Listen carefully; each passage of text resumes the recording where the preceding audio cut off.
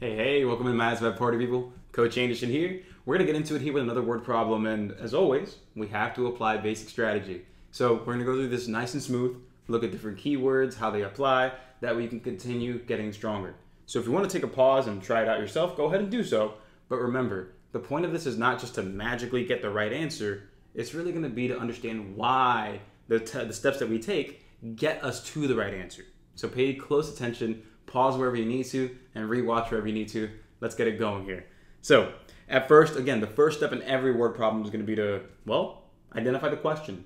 What's the goal? Right here, it starts with the question sentence. So, how much will the buyer pay? Okay, that's pretty straightforward, right? We want to know how much we're going to pay for something. Now, there's going to be information associated with it. Yeah, sure, whatever. But at least we know, we want to know how much we're paying for something. So write that down. Cool, that's step one. Again, what we want, we'll pay, we'll pay that much. Again, you don't need to be fancy with it. You just need to identify the goal. Now that you have the goal, we'll go ahead and go into the information. Hey, hey, hey, really quick before we continue, if you're watching this, you've likely already been to one of my classes. And if you haven't been to one of my classes, remember to check that schedule. The link is right up there and in the description of this video. That way you can understand when my free classes are and my access program classes are.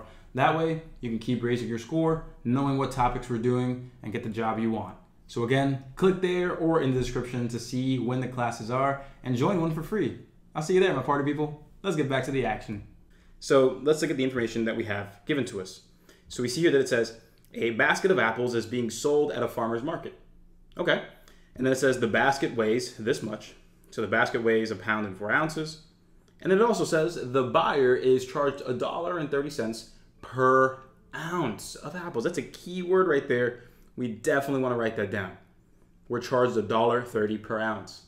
So taking a look at that information, I think we have enough already to solve this pretty straightforward because we have, again, one pound, four ounces, and we're charged a dollar 30 per ounce.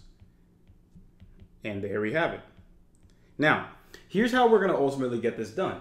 Notice, really right here, notice that this says $1.30 per ounce.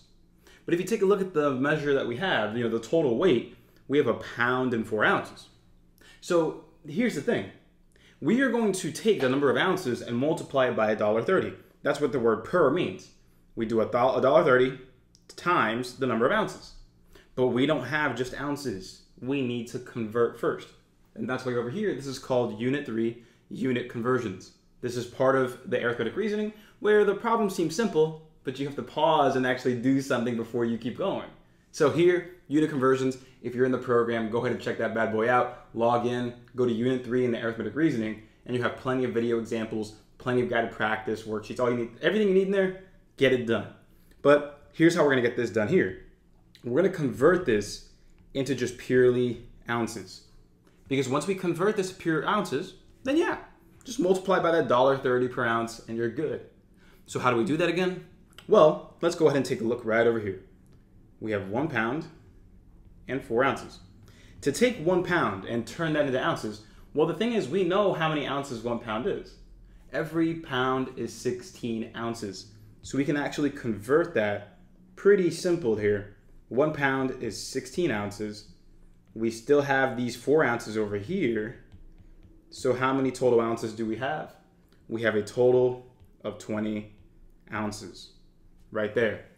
So understanding how to convert is really important here because even if you knew that the word per means multiply, you still had to convert the units to make sure that you're good to go. So with that said, boom, we come right back. We have a total of 20 ounces. So let me just fix this right up here. Great. And now we'll go ahead and do the dollar and 30 cents right over here per ounce. So times 20. So we'll do this, 1.30 times 20, which we don't even need that zero. We can just multiply by two, then move the decimal place over. Um, you know, we can do that shortcut there to get 26, or I can do it by hand.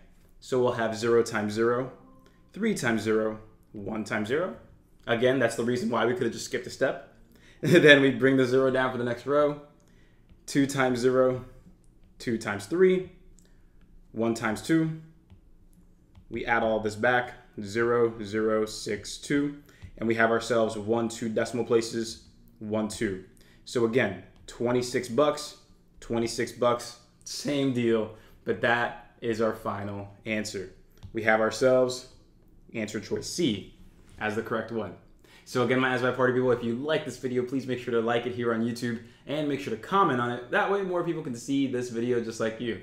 What I would prefer that you comment is, well, what you enjoy about the video? And if you're in my program, go ahead and shout the program out. That way many more people know that it exists and that there's help for them, just like it is for you. So again, I'm Coach Anderson. I love you, all my party people. I'll see you in the next one. Cheers. And before you go, if you like what you saw and you want to raise your score with thousands of practice problems just like that, so you can lower that test anxiety, raise that confidence, go to this link right here to check out the full program. There's a video that shows you exactly how it works, but you're gonna get lessons, guided practice, worksheets, speed drills, and everything that you need to feel supported from day one all the way until you pass. Again, I'm Coach Anderson, and I'll see you soon.